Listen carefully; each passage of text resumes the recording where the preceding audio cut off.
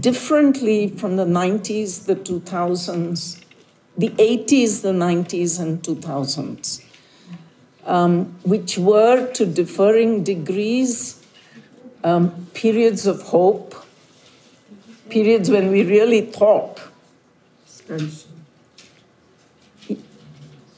of, you know, our imaginations could fly. This is a lousy time.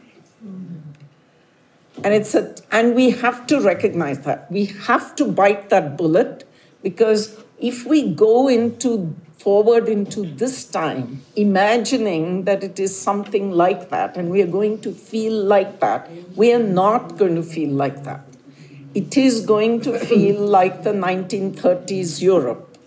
Um, that is what we are looking at right now, mm-hmm. where, you know, catastrophe is, and we still have to stand.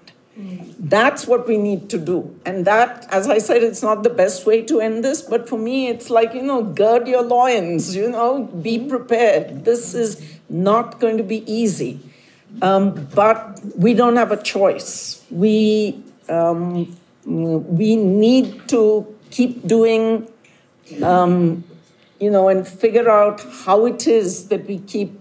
We will not have answers to the majoritarianism, de-democratization. I mean, that's an avalanche that is on us at this point, and we're not going to be able easily to change that. Okay, you know, we're here, we're going to be here, um, and we will keep doing what we have to be doing. Um, we won't be stupid about it. We're not going to be foolhardy about it um, because this is a behemoth um, that's, that's on the other side. But we're not going away.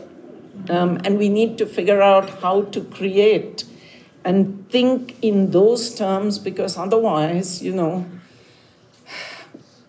we can't create false hopes, neither for ourselves nor for anybody else. And that's really important for me, at least. Um, um, Everyone take a deep breath.